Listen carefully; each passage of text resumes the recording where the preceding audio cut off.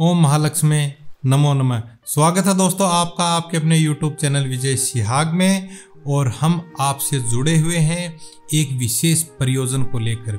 एक ऐसा प्रयोग जो आपको माला माल कर दे, आपके परिवार में आर्थिक समृद्धि को मज़बूत करे, आप प्रगति के पथ पर अग्रसर हों, यही हमारी माता लक्ष्मी व इष्ट देव से प्रार्थना है। आपके कमेंट लगातार हमें मिल रहे हैं, हम उनका जवाब भी दे रहे हैं। ये आपका आपसी स्नेह, प्रेम, विश्वास, श्रद्धा का भाव है जो आप लगातार हमसे जुड़े हुए हैं। दोस्तों, वर्तमान में दीपोत्सव का त्यौहार चल रहा है, यानी कि दिवाली का पर्व आने वाला है।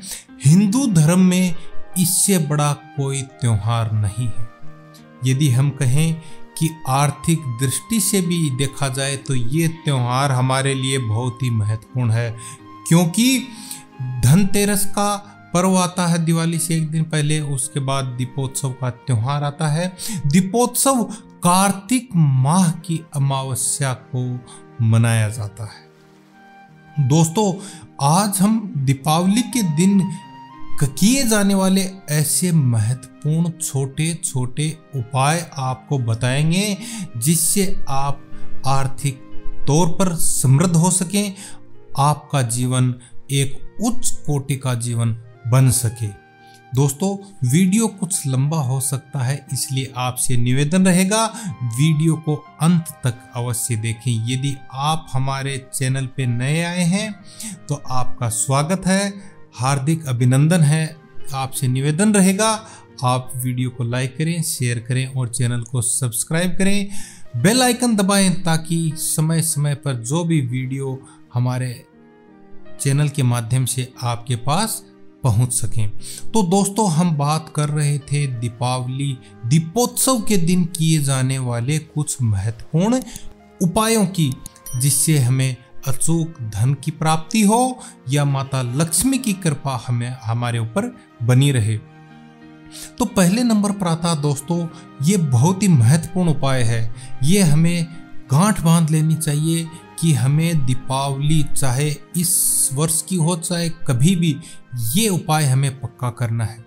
इस दिन हमें किन्नरों को जो थर्ड जेंडर जिन्हें कहा जाता है आज की बोलचाल में, हमें उन्हें कुछ दान दक्षिणा अवश्य देनी चाहिए। अपनी कैपेसिटी के हिसाब से या अपने हमारा जो जेब जितनी इजाज़त देती है, उस हिसाब से हमें उन्हें दान दक्षिणा देना है। सच्चे मन से देना है, दुखी होकर नहीं और उनसे आशीर्वाद लेना है। निश्चित तौर पर ये उपाय अवश्य ही आपको प्रगति के पथ पर आगे लेकर जाएगा।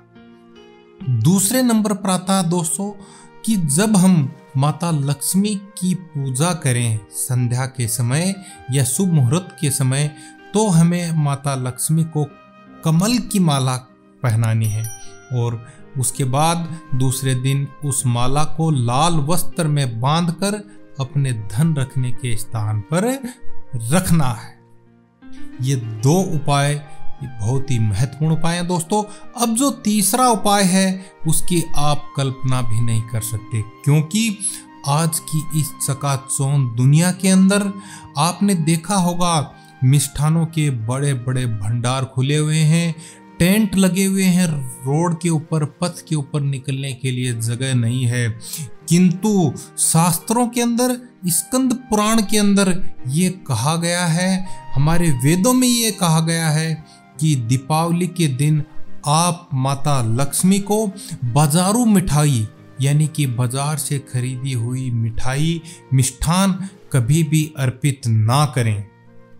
दोस्तों, उस दिन आप अपनी माता, बहन, पत्नी, गृहिणी, जो भी घर पे महिला हो, उनसे कहें कि उस दिन माता लक्ष्मी के लिए मिश्री डालकर मीठी खीर बनाएँ और उसे माता लक्ष्मी को भोग लगाएँ, ताकि आप देखेंगे कि उन घर की शुद्धता और माता लक्ष्मी को अर्पण की गई ये खीर निश्चित तौर पर आपका शुभ करेगी, आपका मंगल करेगी। क्योंकि आपने देखा होगा, समाचार माध्यमों से भी सुना होगा, प्रिंट मीडिया में भी पढ़ा होगा कि मिठाई, कि उस दुकान पे रेड, उस दुकान के ऊपर मिलावटी मिठाई पकड़ी गई, मावा पकड़ा गया।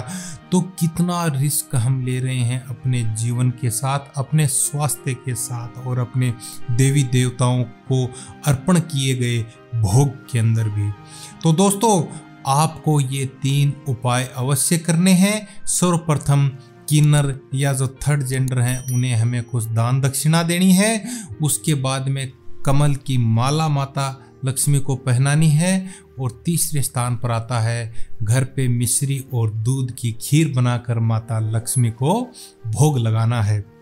दोस्तों, आज के वीडियो में हम इतनी जानकारी साझा करेंगे दीपोत्सव दिवाली के ऊपर किए जाने वाले अन्य छोटे छोटे उपाय हम अपने वीडियो के माध्यम से आप तक अति शीघ्र पहुंचाएँगे। तो यदि आपको वीडियो पसंद आया हो तो वीडियो को लाइक करें, शेयर करें, चैनल को सब्सक्राइब करें। आज के वीडियो में इतना ही। ओम महालक्ष्मी। नमो नमः।